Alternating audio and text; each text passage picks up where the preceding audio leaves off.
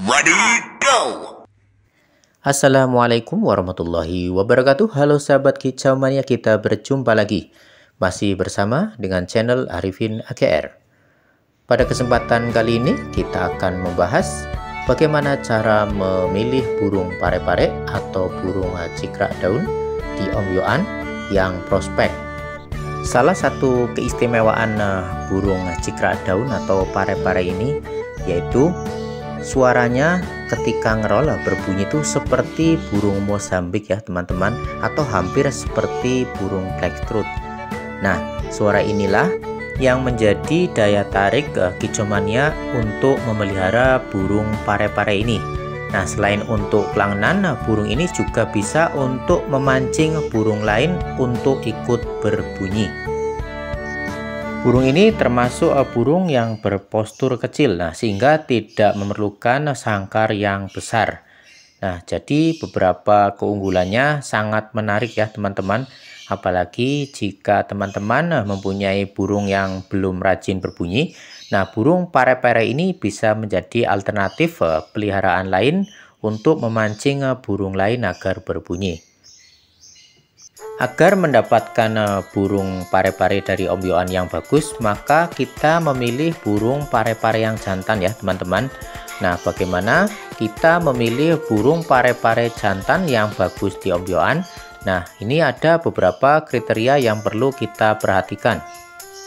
Nah, yang pertama apabila kita berada di kandang ombyoan, Nah, kita jaga jarak, nah, tidak usah terlalu dekat, nah sekitar 1 sampai satu setengah meter ya teman-teman. Tujuannya agar burung ini merasa nyaman, nah, tidak terganggu dengan kehadiran kita. Nah, dengan begitu kita dengan seksama bisa mengamati masing-masing dari burung omyoan ini. Nah, untuk burung yang jantan, cirinya yaitu biasanya posturnya lebih kecil, nah, lebih langsing. Nah, yang ini ya teman-teman. Nah, posturnya lebih kecil. Selanjutnya apabila kita perhatikan nah, cara berdirinya tegap ya teman-teman. Nah, tegak nah, tidak glosor atau tidak seperti membungkuk. Nah, bila dibandingkan dengan yang lain. Nah, kemudian nah, kita memilih eh, garis hitam di kepala yang tebal ya teman-teman. Nah, yang jantan kelihatan lebih jelas nah, bila dibandingkan dengan yang betina.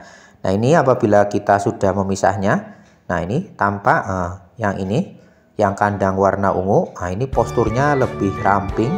Kemudian cara berdirinya juga dibandingkan dengan yang satunya ini lebih tegak. Nah ini lebih tegak. Ini walaupun masih gerabaan masih giras ya teman-teman. Nah syukur-syukur kalau di Om Yoan sudah ada yang mau makan pur kita bisa memilih burung uh, cikrak daun ini yang sudah makan pur ya teman-teman Nah tentunya kita memilih burung yang tidak ada cacat atau luka di kaki dan bagian sayap atau bagian paruhnya agar ketika burung ini kita rawat kita pelihara ini eh, cepat gacor ya teman-teman. Cukup mudah dan simple ya teman-teman nah, dalam memilih burung cikra daun di Om Yoan. Terima kasih teman-teman yang telah menyimak video ini. Kemudian yang telah menekan like subscribe dan yang telah mengaktifkan uh, pemberitahuannya agar teman-teman mendapatkan pemberitahuan setiap kali saya upload video terbaru. Mohon maaf apabila ada kesalahan dan kekurangan. Insya Allah kita berjumpa di video berikutnya. Assalamualaikum warahmatullahi wabarakatuh.